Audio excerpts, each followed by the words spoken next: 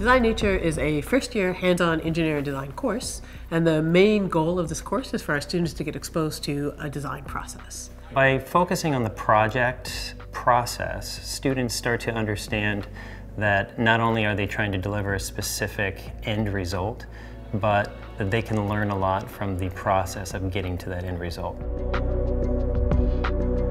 We want our students to be able to get inspiration for their engineering work from lots of sources, and nature is absolutely one of the important sources that they can draw inspiration from. We think it's important that engineering be harmonious with nature, be sustainable, and, and one way to do that is to start looking to nature for models. Not only does it help us get to a viable solution faster, it's also an important thing that allows students to learn to be more inquisitive about the world around them and to look around and pull from nature ideas that might be starting points for solutions. There's two major components to the course, each is half of the course. The first project students do as individuals, and the second project they do as a team. The first half of the class is called the Hopper Project, in which each student has to design for themselves and build for themselves a hopper, something that replicates some sort of biologically inspired movement. And in order to do that, they learn a design process that involves first doing research, including things like going out onto the grounds of Olin College and finding insects and drawing them to learn from them, but also reading scientific papers and understanding how these insects work in nature, and then using that as inspiration to build a little mechanical hopping device. On Hopper Day, every student is given three minutes to showcase their hopper. The class measures it, photographs it, and celebrates it, regardless of how successful it was or not.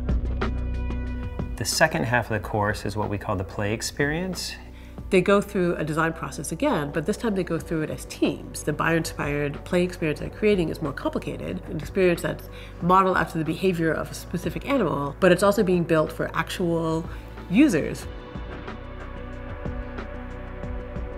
At the end of the class, about 80 fourth graders from a local school will come in, actually play the students' games, and grade the students on the quality of their games and the quality of the experience.